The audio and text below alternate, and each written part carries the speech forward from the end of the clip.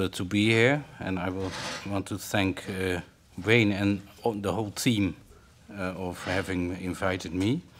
What I want to do is, uh, I have not a presentation in the sense that I have a text that I will read, so I will present a little bit more freely, but I have a PowerPoint, and I uh, will not speak very fast, but I, I, have to move on nevertheless, because otherwise I will be running out of time. Okay, my starting point is also the law, and especially the absence of law within uh, current discussions on the future of uh, colonial cultural objects. And uh, these two statements have already been discussed. Uh, it is unfortunate, but it has been legal at the time, and it has been a long, long time ago, and these statements are sometimes used by politicians, for example, British politicians, but also Dutch politicians to sort of fend off the legal in the discussions about colonial injustice. Well, these statements are problematic, and we, in, in a sense, I can profit of being the, uh, the having a, a, lot of presentations already, uh, for reasons already mentioned. Uh, the injustice um, itself, where we are talking about, uh, was often legally constructed. So uh, that is one of the problems with the statements uh, as uh, saying that it has been legal at the time. If the injustice itself has been legal, of legally constructed, uh, such a statement becomes problematic in my opinion. Another point that, all, that has already been mentioned is that colonial legal regimes did not recognize the colonized or conquered peoples as fully or equally human. Uh, dus based on racial distinctions and categorizations, they couldn't be fully represented within the law of the colonial power or conqueror. Uh, and then in the third place, uh, yeah, it can also be, the statement can also be wrong, perhaps, because histories of resistance, internal and external contestations of the law at the time, are often neglected or not mentioned and maybe most importantly, the last remark, uh, the legal injustice is not something only buried in the past. It persists in the present time. So you cannot say it has been a long, long time ago, as the injustice where we are talking about is still very much in the present. And this is what, and here I quote uh, Wayne Modest, who is uh, moving a lot. Um, that's what he calls, I think, the afterlives of the colonial, meaning that we are still in a colonial time in a certain sense. We are still dealing with the remains of colonial colonialism. We are still dealing with remnants of colonial injustices, and we have to deal with uh, we have to deal with that very much in the present. And so, what interests me is that the experience of colonialism, whatever it may be, in history has been a problem also of legal representation. For example, the enslaved couldn't be legally represented. That is one example of a colonial injustice. And what you see in the present time, that when colonial injustices are addressed, or uh, when claims are put forward, there is still this problem of legal representability.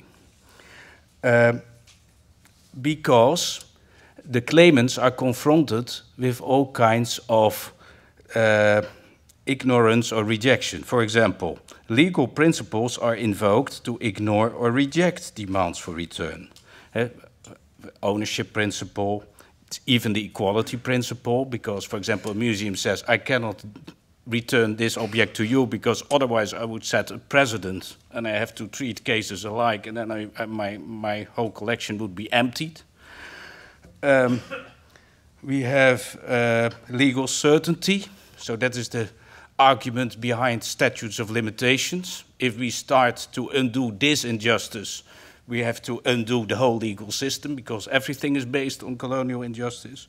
And there, there is the, also the principle of non-retroactivity. And then uh, people are saying, well, there are treaties, but they have no, they do, unfortunately, they cannot have retroactive force, so you cannot, you cannot apply to them. Um, You cannot base your argument on those treaties. Um, yes, where, where am I? Um, therefore, yes, proponents um, of reparations often look for extra legal solutions. And that is why you see that museums tend to draw inspiration from ethical and not from legal considerations. So there is a turn into ethics.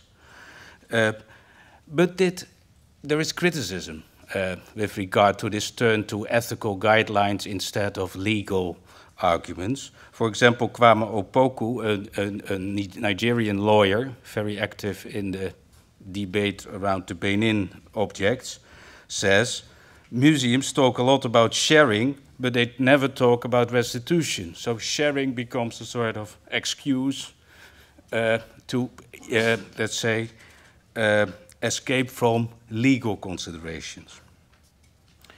Um, my point of, of my uh, take on this is that when addressing legal injustice, one cannot escape to implicate the law and to look also for legal solutions. So we cannot escape from legal considerations when the injustice that we address is also, has also a legal nature.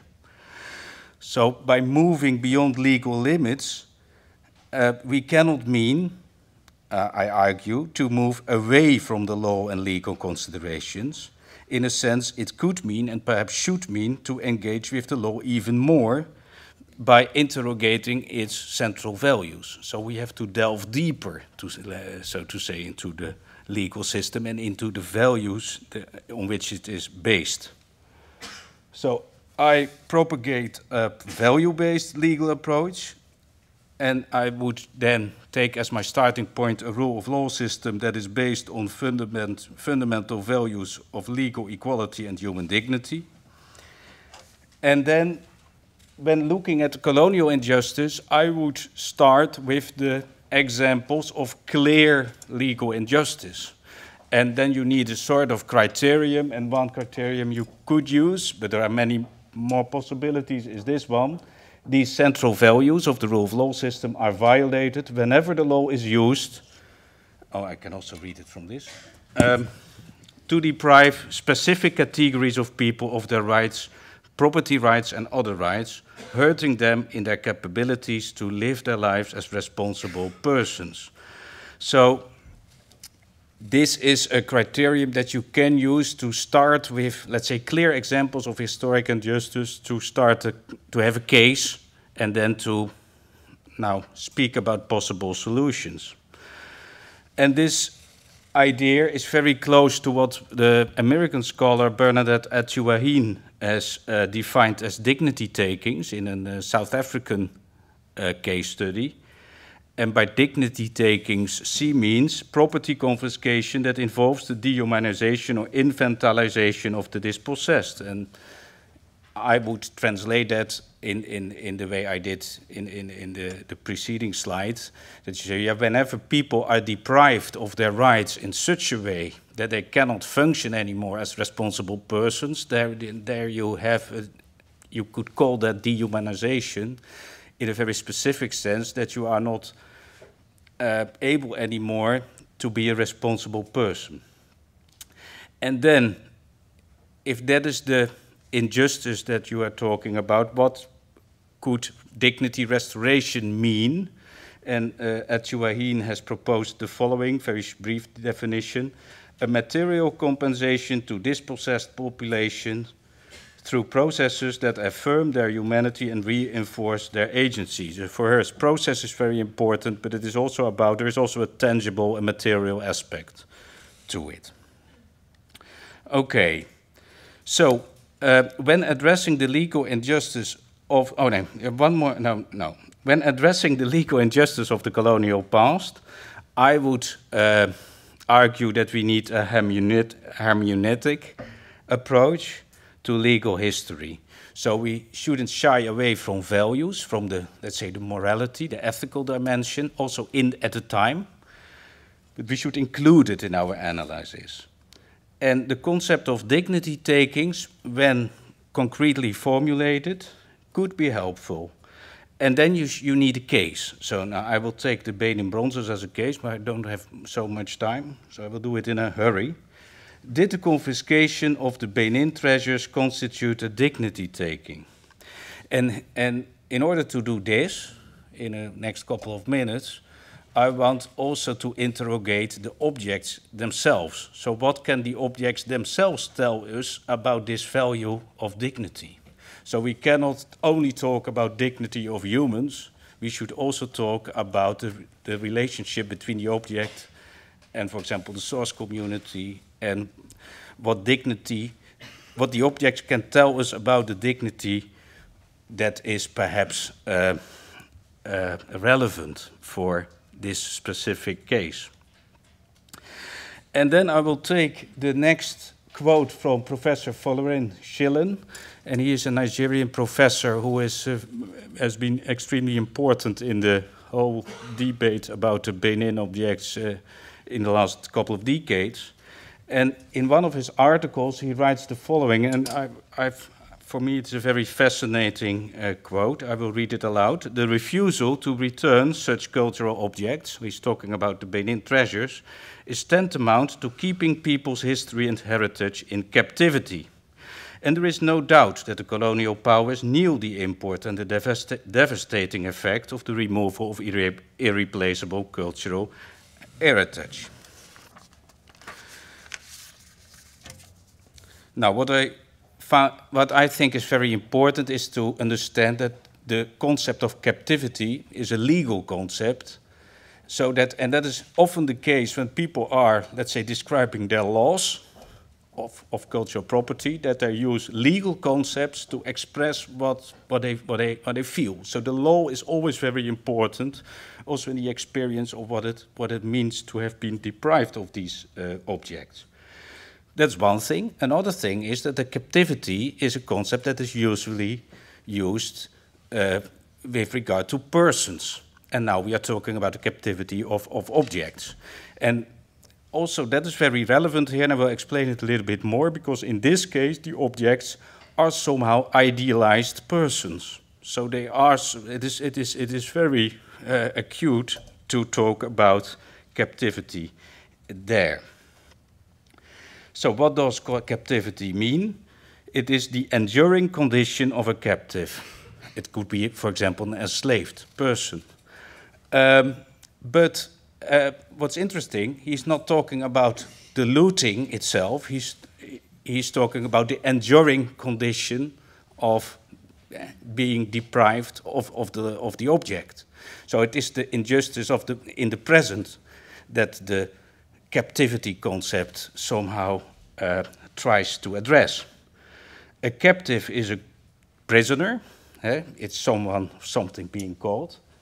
And what's also interesting is the verb captivate, because the original meaning of that word was seized by force. But usually we understand captivate as something that enthrall us with charm, overpower, and behold us by excellence or beauty. So, and I think that's very interesting to reflect on because captivate the objects as they are exhibited in the museums are captivating us are enthralling us, are overpowering us with their beauty. But by captivating us, we, we are so attached to them that we are thinking that we are captivating by those objects, captivated by those objects, and forget about their forced seizure, their being captivated by us in the past. And I think that is a very interesting double meaning of the concept of captivity and captivate that we need to reflect on uh, more.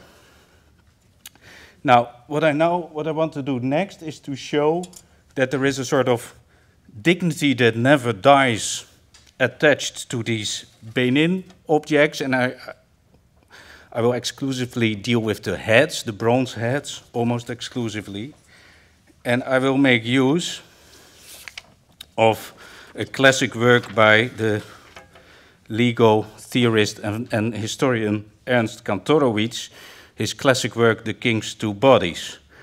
And this book uh, from 1957 was about the genealogy of the political theology developed in the Middle Ages and, and further developed by 15th and 16th century English lawyers about um, uh, the possibility of conti continuity of monarchy, also after the death of the monarch. And central is the idea of the king's two bodies. So, and the king's natural body has physical attributes. He suffers and dies naturally, as do all humans. But the king's other body, the spiritual body, transcends the earthly dimension and serves as a symbol of his office, as majesty with the divine right to rule. So the notion of the two bodies allowed for the continuity of monarchy even when the monarch died, as summed up in the formulation, the king is dead, long live the king. So the king is a natural person, but at the same time he's also a spiritual person with a dignity that never dies. But how can you, let's say, show that? How can you make that tangible? Five minutes. This is very important. We need cultural objects to, let's say, solidify this, this idea of immortal dignity. So where God can create a natural man that dies, we need artists to create, strangely enough, to create an immortal king that, that doesn't die. So these Benin bronzes are a very, I think, important example of this theory, this theology, because they were created to prove that the Oba, the, the Benin king, could not die. And that is where he was put on a shrine, and there was a very close relationship between the Oba in, in the Benin city and his uh, ancestors through the uh, objects the Benin had uh, that were uh, worked as a sort of vessel through which uh, the eternal dignity, so to say, could be conveyed to the present king. So there's many, we can talk much more about this, but I, haven't, I don't have time. So here you see the Oba in the present time, and it is still a fact that the Oba, when he is in public, he, he doesn't show that he is mortal. So he never eats and drinks in public, for example, and that is also a way to show that there is a dignity to royalty, to the king, that, that, cannot, that cannot extinguish. So uh, the dignitas is an ideal person. I have no time. Uh, sorry. Here you see uh, examples of uh, now Benin bronzes and an, and an ivory object of the Queen Mother.